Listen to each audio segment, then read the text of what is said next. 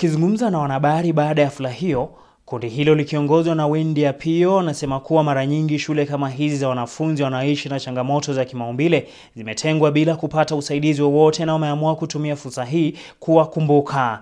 We should also look upon that kuna gap yenye tumesahau. The vulnerable kids those who can't listen those who, are blind those who can't move.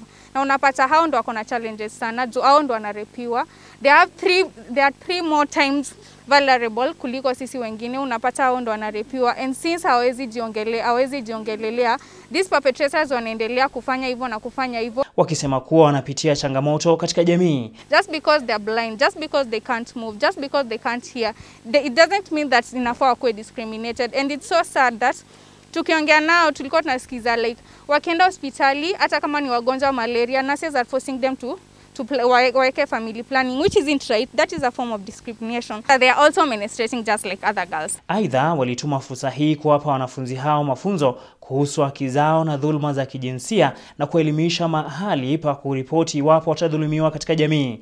tumewafunza pathways of gender based violence kwenda kuripoti wabai wakipatikana mtu akimshika ama mtu akimshika palipopote akimshika matiti akamshika huku akimshika matako.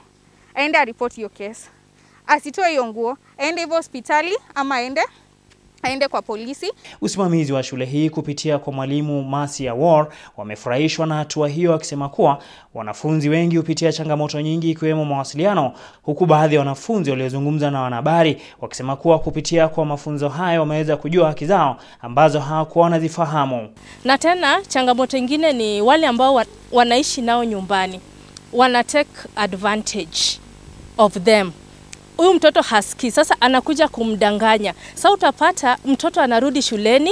Ukimuuliza hii mimba ulitoa wapi? Anakuambia labda ni shamba boy ama kazini yangu alikuja kututembelea. Unaona hiyo ni case uh, very serious for such girls. Cornelius Omuse, Mwale wa Kaka.